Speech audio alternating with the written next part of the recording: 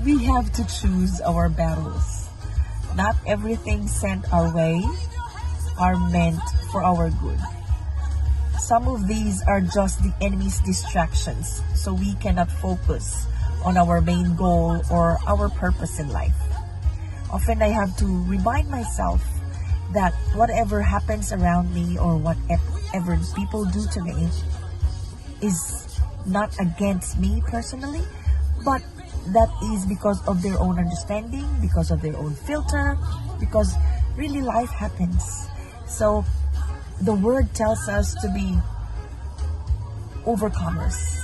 Because Jesus said that in this world you will have tribulation, but be of good cheer because I have overcome the world. So we are all overcomers.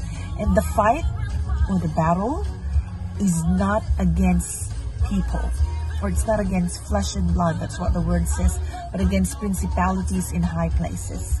So let us take our battle in the heavens. That's where it truly belongs. If you are a believer, if you have received Jesus as your Lord and Savior, you will understand that you are commanded to love people, to love God, and to be an ambassador of His kingdom. So the battle always belongs to the Lord. And Jesus promised us that vengeance is mine. So let's keep our peace and let us continue to be a light in the world or in this around you. You are the light. And sometimes the light is often seen